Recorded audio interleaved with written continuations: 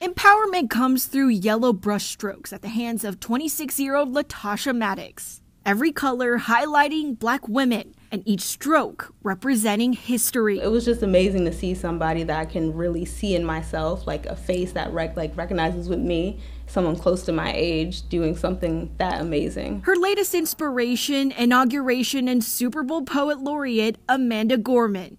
The artist says this portrait embodies exactly her style. It's all to like give a much like lighter um, maybe even surrealist environment for black people where it's often like we're focusing on the hardships and the oppression and different things like that.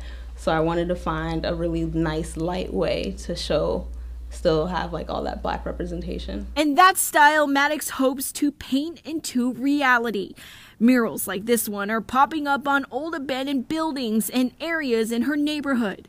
A reminder to Baltimore City youth change could be just around the corner. As bad as it always is, there's always something good out of that. When you are in a bad place just because of the world that you're in and the circumstances that that world puts you in, you can be taken out of it with my art in some ways. An artist painting the colors back to neighborhoods and back to lives in Baltimore City.